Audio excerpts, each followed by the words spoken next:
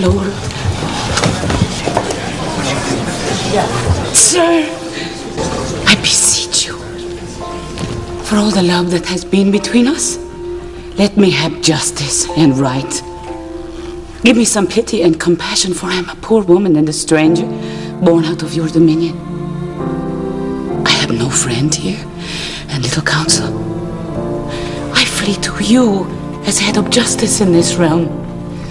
I call God and all the world to witness that I have been to you a true, humble, and obedient wife, ever comfortable to your will and pleasure. I have loved all those whom you have loved for your sake, whether they be my friends or enemies.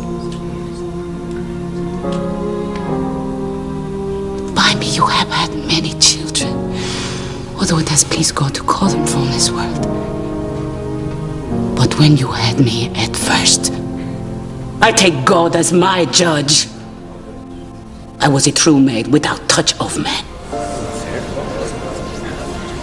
And whether or not it be true, I put it to your